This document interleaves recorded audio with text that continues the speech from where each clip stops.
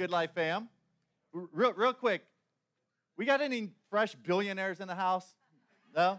Yes? All right. Well, we're, talk, we're talking about the rich fool this morning, and I just wanted to know if we had any new members to the club. All right. So, but uh, so back when I was in college uh, many years ago, a couple friends and I, we decided to do something amazing. We, we went skydiving. So, uh, anyone else skydiver? And no other sky, a couple skydivers in the house. Loved it, loved it. And uh, well, I had to do this a long time ago, many years ago, because I was dating Kirsten at the time, and she said, if we ever get married, you are never doing this. All right? So I went for it when I could. And uh, Kirsten actually went with us, though, to take pictures, of course. Yeah. And um, we had to take turns when we went because we went up in this little four seater plane, tiny little plane, which was an, an adventure in and of itself. All right. And so when it was my turn to go up, go up. We hit about 10,000 feet. Uh, we, uh, you know, at 10,000 feet, my instructor, who's atta- attached to my back, we step out onto this little metal bar, hang on to the wing. So I'm flying outside of the plane at this point, which I'm soaking up every second of that. It was amazing. And then three, two, one, countdown, step back into air. We're free falling, exhilarating all around. 5,000 feet, pull the ripcord, and start drifting like a feather. It was incredible. I'm soaking up everything around me and the horizons and so forth. We approach the ground, pull the cables in, boom, touchdown at the bullseye mark perfectly. It was one of the greatest things in my life. And then it was my friend's turn to go up. so my, my friend goes up, and we all stay on the ground. We're watching it, we're watching him, and, and my instructor's on the ground with us, watching, watching for him. And we eventually see him coming down. We eventually see him free falling and then the chute opens, and then the spinning begins, right? And, and then we're watching, we're watching, and, and the chute's expanded, but not full, all right? It's out, but not full, so they're spinning and spinning and spinning. And the, and the instructor who's on the ground with us, he just starts saying, something's wrong. Something's wrong. Something's wrong. And, and so eventually we see the chute fly away and my friend goes back into free fall. Right? Very quickly, the reserve chute opens up, aka the much smaller chute. All right, and they come skidding in like they're they're just like flung out of a slingshot. All right, a hundred yards off top off off of the target, and just you know in a massive bundle of humanity and a pile of dust and dirt and everything. It was quite literally out of control. So we, so we run over, run over and make sure they're okay. I, I finally reach my friend, and, and he, he, he, I mean, eyes are like, you can, you've never seen eyes this big or a mouth this wide open. And, and he eventually collects his thoughts, and, and, he, and he goes, I just kept hearing this voice saying, We have a malfunction. We have a malfunction. And I'm thinking, what do you mean, we? What do you mean? What can I do in this moment? Right? And then he said, and then the next thought, he goes, he goes, the next thought through my head was, why did I sign all those waivers? what, what was I thinking? Never, ever again. Now, well, it turns out one of, the, one of those steering columns had gotten wrapped around all the other cords, and it was preventing it from actually opening up. And so the, the irony here is that the very thing they thought would give them control actually prevented them from having any control at all. And now, so, so my friend and I, we signed up. We signed up to have the exact same experience, right? We signed up to have the same event go on, but had vastly different outcomes, right? For me, a highlight of my life. For him, a horror of his life. For, for me, an exhilaration. For him, a tribulation, right? So, now we, you know, we had two very different events take place while we were expecting the same thing. Now we are, we're going through a series this summer on the, the stories of, of Jesus, parables, right? Parables. And these parables are oftentimes a comparison of two very different ways to go through life. Right? In fact, the word parable comes from the Latin word for compare. Right? So in these stories, Jesus is telling us, Jesus is saying, look, everyone wants to go through life one way, Right? I'm offering you a different way, a better way, my way, all right? And even my hands, you might even notice my hands are kind of in the shape of a parabola, right? Geometry, anyone? Parabola. It shares the same root word as parable, two different comparison sides, all right? And so, you know, Jesus is saying, my path, my path, it's called the kingdom of God, all right? And so everyone wants their own kingdom. I'm inviting you into mine, right? Because your path, your way, you're not going to like the way it ends. You, you might like your path for a while, but eventually you're going to be afraid and anxious and ultimately worthless, Jesus says. But my way, my way, in my kingdom, no fear, no anxiety, and ultimately immeasurable treasure. Which leads me to the massive question of the day. Big question of the day is who do you trust really? Who do you trust really? Your plans for your life or God's plans for eternal life? Right? Who do you trust really? Your plans for your life or God's plans for eternal life? See, I, I, and I know since we're all here on a Sunday morning, uh, the, the answer is obvious, right? Of course, I, I trust God, duh. Right? But that's why I threw the word really in there. Really, who do you trust really? Because to really trust someone means to act as if their words are true. Right? And, and I can't help thinking that maybe one of our biggest needs is for us to see a reality the way Jesus sees reality. And for us to then live a reality the way we say we believe it. Right? And, and we're going to be going through some of Jesus' teachings this morning. And frankly, I'm very glad that these are Jesus' words, right? Because knowing the world is the way it is and that people are the way they are, I would not stand up here and say some of the things that we're going to hear Jesus say. I wouldn't do it. I wouldn't do it. Because some of it just sounds ridiculous or unrealistic at best, all right? So we're going to, we're going to be in Luke 12 this morning. And here's the scene uh, Luke is kind of echoing a lot of what we've heard in, in Matthew and the Sermon on the Mount and, um, you know, you know and, and elsewhere, of course. But basically, he's describing, he's teaching about what it actually looks like to live in the kingdom of God, all right? And by this point of Luke 12, Jesus is attracting crowds, like huge, like massive crowds. Luke actually tells us here in Luke 12 uh, that that there were many thousands of people here, and he uses the word trample. He said people are beginning to trample each other. All right, so packed, packed house, packed crowd, and listen to what Jesus tells this crowd that's trampling each other. Luke 12, 4 is where we start here. I tell you, my friends, do not fear those who kill the body and have nothing more that they can do. Hey, friends, don't fear somebody who can kill you. Do you see why I'm glad these are Jesus' words and not, my, and not my own? I could not stand up here and say that, right? I mean, if we're, if we're sitting down for coffee or something like that, we're in, at Peaches or whatever, and you lean in and you're like, Dan, somebody's trying to kill me. They want to kill me. The last thing in the world, I, I mean, I could, I just could not lean in back into you and say, don't worry about it. What's the worst that could happen? Right? But that's what Jesus is teaching us here today. Right? That, actually, it, he's not just teaching it though, he's demanding it. It's a demand of Jesus, right? Jesus demands do not fear those who can kill you. Which prompts my second big question of the day. Was Jesus serious? Really?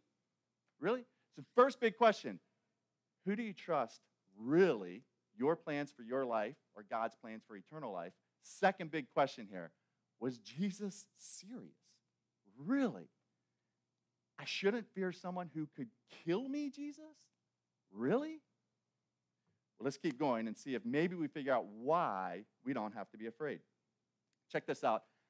I think this is one of the most beautiful sentences in the Bible if we let it sink into our bones here. All right? So uh, lock, lock this sentence in your brain. Jesus is teaching uh, uh, about fearing and not fearing and, and, and who we should fear and who we shouldn't fear and so forth. And then he tells us, even the hairs on your head are numbered. Fear not, for you are of more value than many sparrows. Spectacular, right? Spectacular. Jesus is unfolding something spectacular here when, when we fully grasp what Jesus is talking about here. So do not fear those who could even end your life and kill you. Why? Because you are more valuable than many sparrows. It should thrill you. It should thrill you. Uh, because, because this is huge. This is huge. Because this is not Jesus ranking animal values here, all right? This is Jesus declaring your value. This is not Jesus saying, you know what, all right, well, you got mosquitoes like way down here, right? Mosquito, and then you got maybe a work your way up to a frog, and then you're gonna get your way to a sparrow. And I don't know, you probably fall somewhere between a hippo and a lion, I'd say. You're probably right. Hey, but you got sparrows beat, so good on you.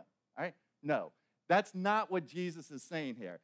This is Jesus going back to Genesis 1 at creation, reminding you of who is over everything. All right? And he's saying, You are more valuable because the creator of everything made you in his image. So he's given you and every other person you will ever see dignity and meaning and purpose.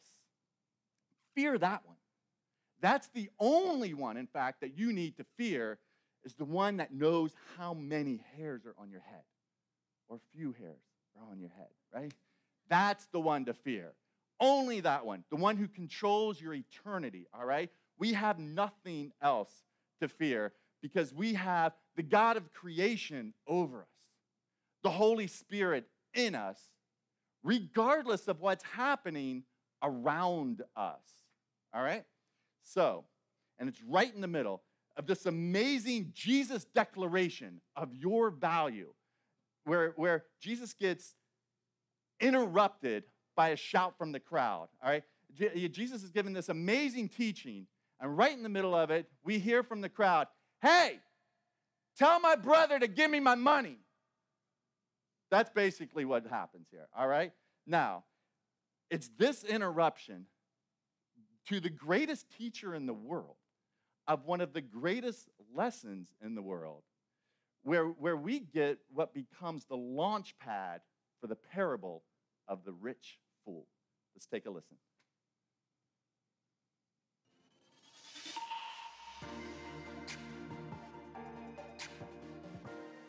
Luke chapter 12, verse 13 through 21. The rich fool. Someone in the crowd said to him, Teacher, Tell my brother to divide the inheritance with me. But he said to him, Man, who made me a judge or arbitrator over you?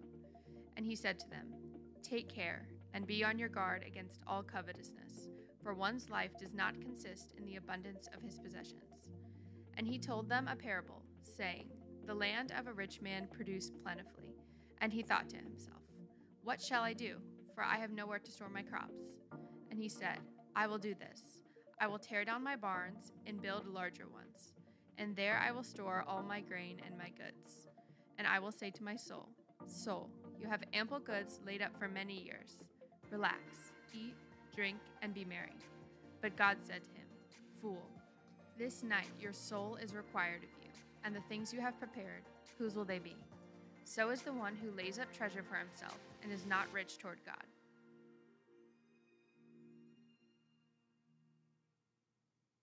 Okay.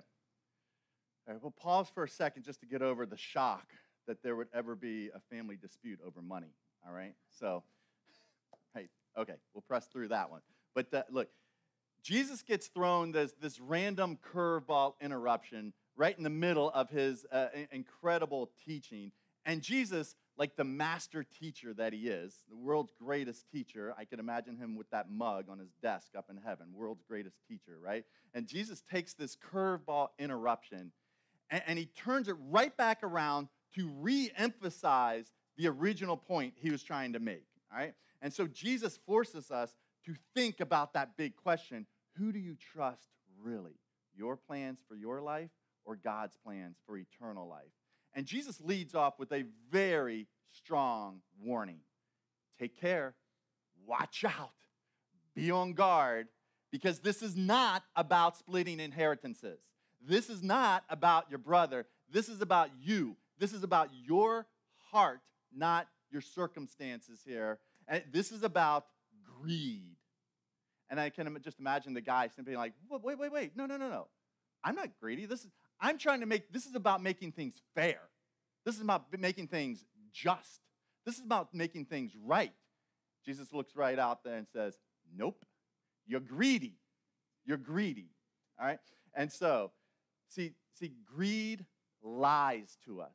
Greed lies to us. Greed will spin our vice into a virtue real quick. Nobody ever sees greed in the mirror. All right? We, we say things like, I'm a great saver. We say, I'm financially cautious and prudent. Or, or we might even say, I earned that. I deserve that, right? See, greed never calls itself greedy. Anger, oh, you'll know when you're angry and you'll admit it, right? Uh, you might even boast about it. It was righteous anger, yeah? Or, or lustful, you're going to know when you're lustful, right? But greed, no, no, no, no. That's why Jesus says, watch out. Watch out. Watch out. Because our capacity for self deception is limitless. Thankfully, Jesus' capacity for grace is limitless as well. Now, so who do you trust really? Your plans for your life or God's plans for eternal life? Now, I know we think the answer is obvious in this room, but do we act it? Do we act it? We had someone very close to our family uh, come and visit us uh, recently, hang out for an evening, and, uh, and he quite literally, during that, that, that visit for the evening, he quite literally unfolded the plans he had for his life, right? And, in fact, he told us about the bigger barns, his version of the bigger barns were set, they were established. And, and, and, he, and, and he bragged about the fact that he had, just like what we just heard, he had many years prepared to relax, eat, drink, and literally be merry. He was set. He was set. And then his wife died. It's tra- a tragic, tragic story for real. Very sad. But the most fascinating thing was that uh, we heard this statement. I heard this statement said throughout the evening repeatedly and, and, and seriously, he, uh, he must have uttered this phrase six or eight times over the course of about three or so hours of, of hanging out. He would just, out of the blue, he would just look at someone and say, This was not the plan. This was not the plan. This, this was not the plan. Tragically, very sadly, he trusted the wrong plan. But it does not have to be like that. It doesn't have to be like that. And Jesus tells us at the very end of this parable, it will be like that for those who store up treasures for themselves. He says it will be like that, but it doesn't have to be like that. So, how can it be different? How can it be different? Jesus tells us with the final words of the parable be rich toward God. Be rich toward God. Be rich toward God. Now, what in the world does that mean? It, it means to make God your greatest treasure, to, to make God the thing that you value most, to make, to make His love and His strength and His grace and His purpose and His plans what you want more than anything in the world. And we have a word for all of that being rich toward God. We call that worship. Worship. See, when our whole life is an act of worship towards God, our whole life and everything in it, we don't have to be worried about anything in our life. We don't have to be anxious about anything in our life when our whole life is an act of worship towards God. And Jesus tells us, in, he says this in the immediate verse right after the parable to re emphasize again his original point. And again, Jesus is going to say something. We're going to hear Jesus say something that I would not stand up here and tell you. I would not say this. But check out what Jesus says. He says, Therefore, therefore what, Jesus? Therefore what? Therefore, for everyone who is rich toward God, for everyone who's rich toward God, therefore I tell you, do not be anxious about your life, what you will eat, nor about your body, what you will put on. So, right before the parable, Jesus is saying, Don't fear anybody who can kill you. Right after the parable, Jesus is saying, Don't be anxious about what you'll eat or even what you'll wear. All right? This is a massive spectrum of things to not worry about. Huge spectrum. Everything that Jesus is telling us, don't worry about everything from lunch to murder. All right? So uh, I think Jesus is telling us to not be anxious about anything at all, ever. Which goes back to the second big question Was Jesus serious? Really? And my answer to that is yes. Yes, yes, yes. I think Jesus was very serious, very, very serious. 125 times in different iterations, Jesus tells us, do not fear. It's all over the Gospels. And I think that Jesus thinks we have a major problem with fear and anxiousness and worries about the whatabouts and the what ifs and what what about and what if. And, and, all right, and so if Jesus thinks we have this massive problem, what do we do then? What do we do about it? Right? Because we can't just walk around saying, do not fear, do not fear, do not worry, do not worry, do not worry. It doesn't work, right? We can't, that doesn't, that does not work to just do that. I mean, if I told you, don't think about pink polar bears. If you, think, if you think about pink polar bears, it will ruin your life. It will sap all the joy of your life, and you will be in utter despair if you think about pink polar bears. What are you, what are you going to do? You're going to be consumed with the idea of thinking about, not thinking about pink polar bears, right? That's what fear and anxiety do. So Jesus tells us, Jesus tells us right here what to do instead. What to do instead. Check this out. Your Father knows all that you need. Instead, seek his kingdom, and these things will be added to you. Don't seek the bigger barns. Seek his kingdom, and your Father will provide everything that you need. Do you believe that? Do you trust him? Really? Really? I hope you do. Because it is the only way, it's the only way that we will not fear and not be anxious. Right? Every other bigger barn, every other kingdom, we will, we will seek our will, not his, our plans, not his. We will seek our glory, not his. And the result will be fear and anxiety. Seek the kingdom of wealth, you'll be anxious about the account balance. Seek the kingdom of health, you'll be anxious about the lab results. Seek the kingdom of politics, you'll be anxious about the ele- election. Seek the kingdom of academics, you'll be anxious about the exam. Seek the kingdom of career, you'll be anxious about the promotion. Seek the kingdom of acceptance, you'll be anxious about people pleasing. It's only, it is only in the kingdom of God where we can know that our God will provide us whatever we need, whenever we need it, to honor Him and live His will. Completely anxiety free, even if it's in our very last breath. My youngest daughter, Summer, she has this uh, a Maverick City T-shirt, and any Mav, Mav City fans in the house? All right, couple, couple. You need to get yourself some Mav City in your life. I'm telling you. All right. So the, the, the, the, this this T-shirt this T-shirt says, "It's a miracle we can breathe. It's a miracle we can breathe," and I love it because it's true. God is in control of the very hours of our day and the very breath in our lungs. And when we see it all, when we see it all as grace and gift from Him, then we can live in faith, not fear. Do you trust Him really? You trust Him really? Because it's an invitation to a life that only Jesus makes possible. But what does it look like, though? What does that look like in real life? This, this life in the kingdom, this seeking the kingdom. What does it look like in, in, in real life?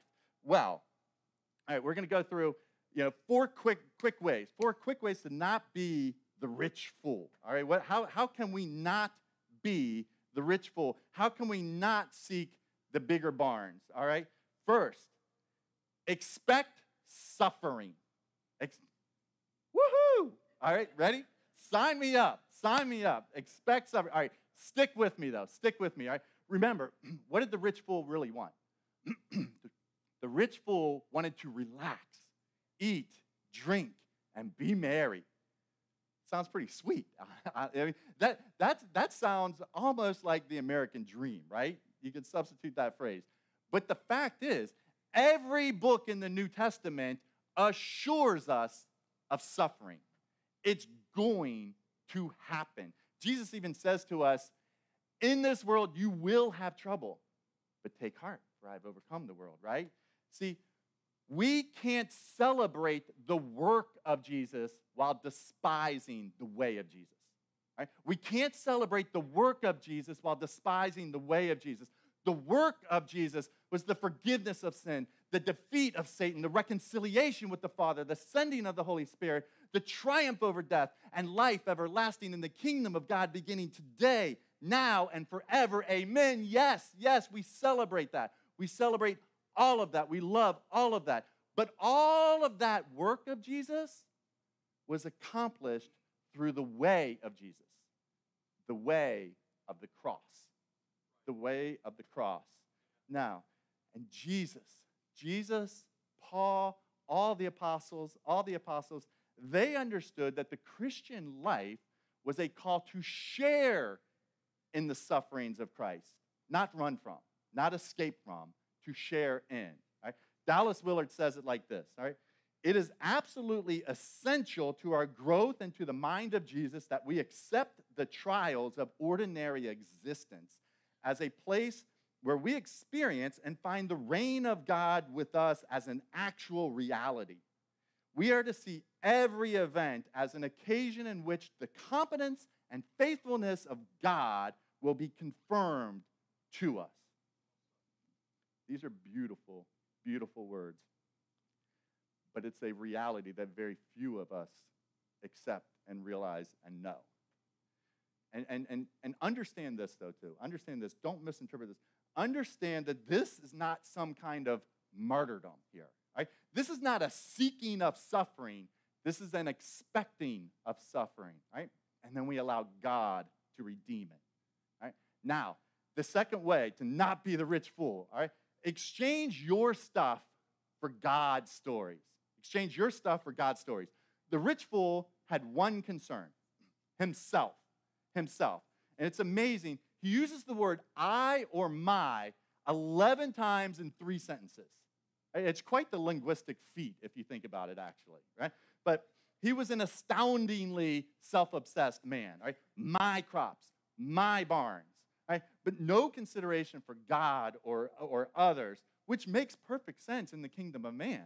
But it's in this teaching right here what Jesus tells us. Jesus says to us, Sell your possessions, give to the needy, provide yourselves with money bags that do not grow old, with a treasure in the heavens that does not fail. Pretty sweet offer God has for us right there, honestly. You know?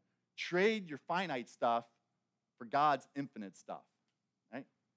Look, anytime that you have the opportunity to trade your stuff for God's stories, do it.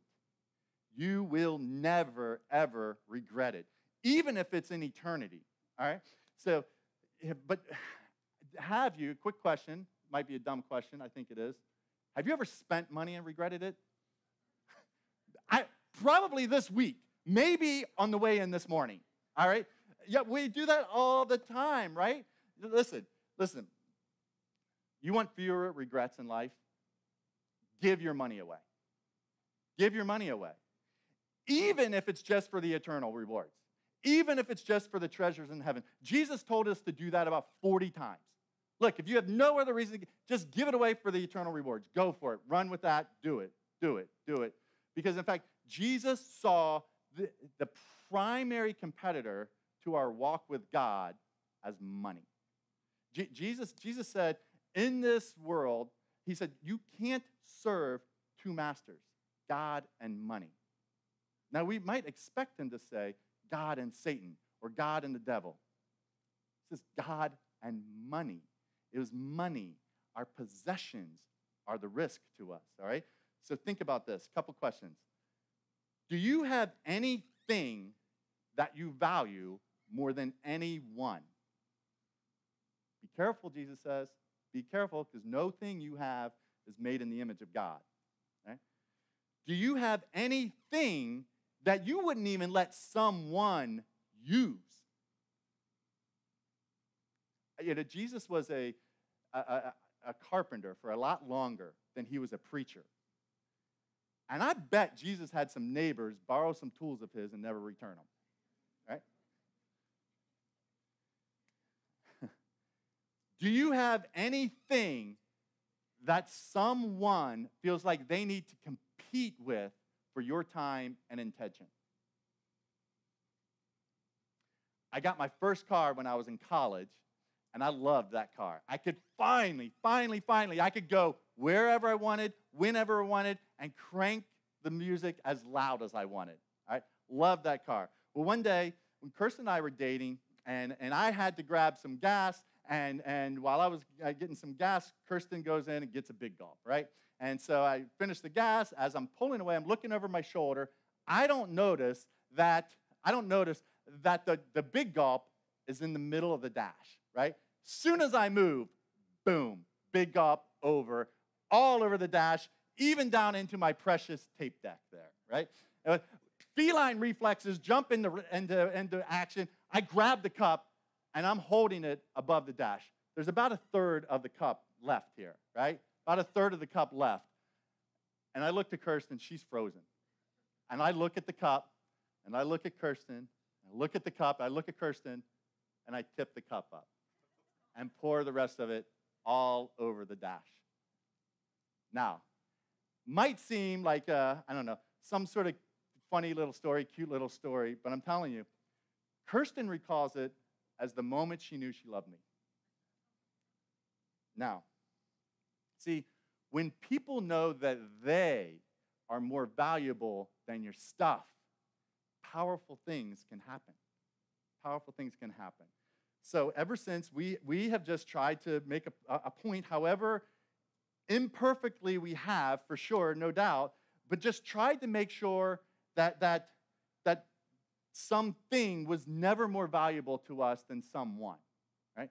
And, in fact, the, house that we live in right now, story uh, for another time, longer story there, but we, the house that we live in right now is actually because we were looking for a place uh, where a Haitian refugee could stay with us who ultimately became like family, right? So, so listen, turn your stuff into God's stories.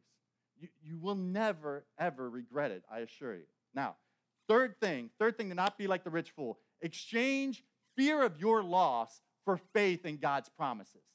All right? The rich fool had bigger barn syndrome. Bigger, he, he wanted to be king of his kingdom, but he lost it all anyway, right? His fear of his loss did not prevent his loss, right? He lost it all anyway. So it's so, so important for us to exchange fear for faith because it's impossible to love your neighbor when you're afraid. Right?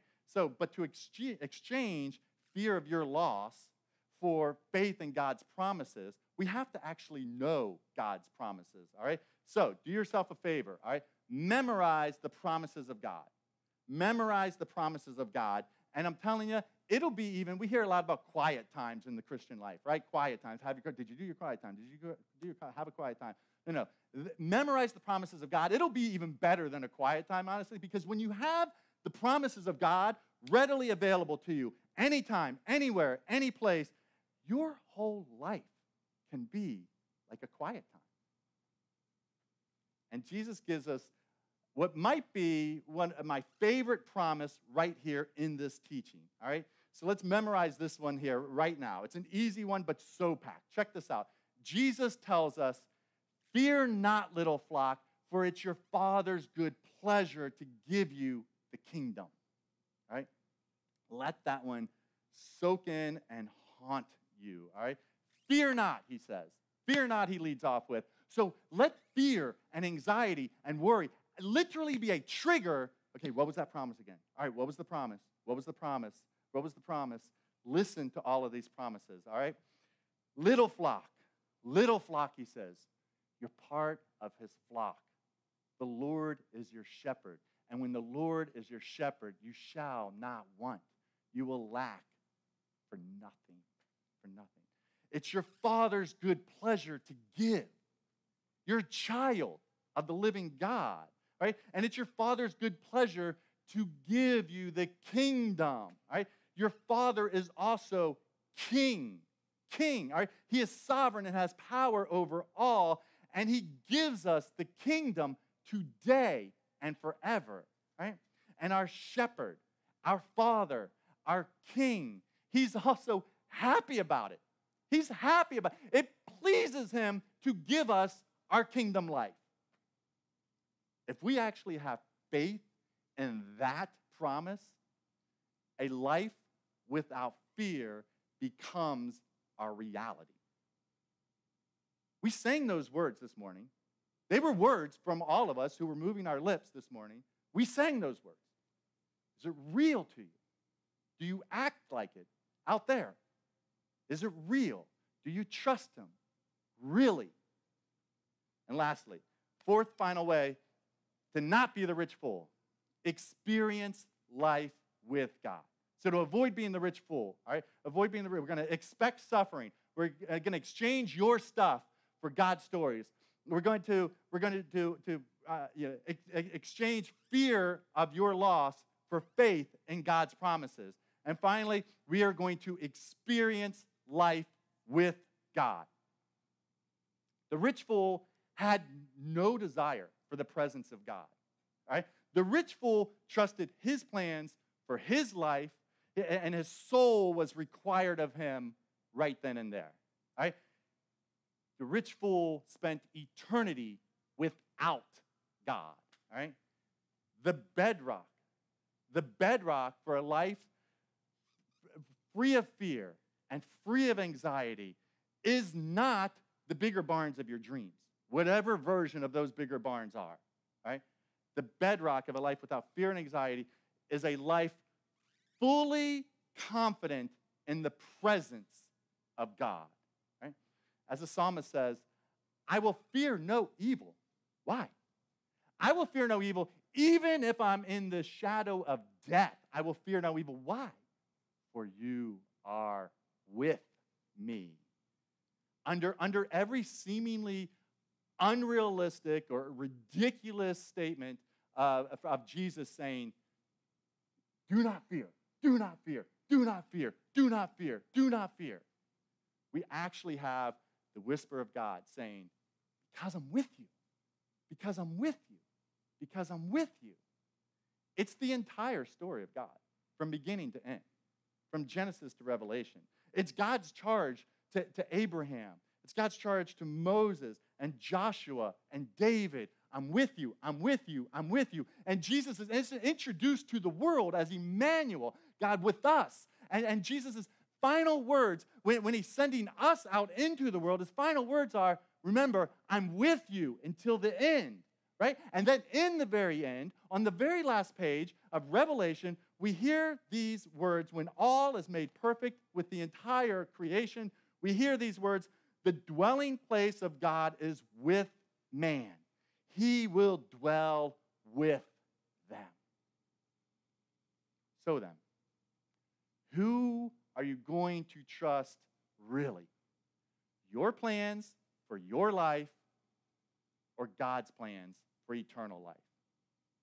You know, my, my skydiving friend, my skydiving friend, he had someone attached to him telling him, We have a malfunction. We have a malfunction. We have a malfunction. Well, we in our Christian life, we also have someone attached to us the Holy Spirit. And He's telling us, don't be afraid. Don't be afraid. I'm in, I'm in control. I'm with you. Don't be afraid. I'm in control. I'm with you.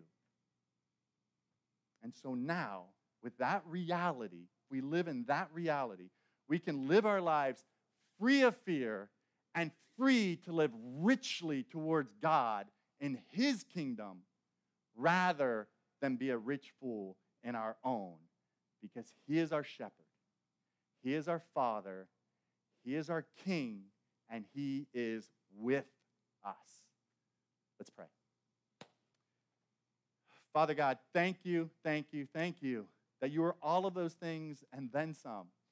I thank you for your presence. Thank you for gathering us here this morning. Thank you for the gift that it is to actually be together. I pray, God, that we that we embrace what you have for us, that we embrace you, that we know that it is not wishful thinking.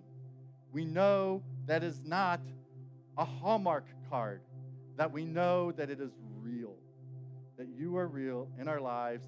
And when we forget, you give us to each other. Help us to be a people that remind each other of your promises to not live in faith, or not live in fear, but to live in faith. Help us to not be the rich fool seeking his own kingdom. In Jesus' name.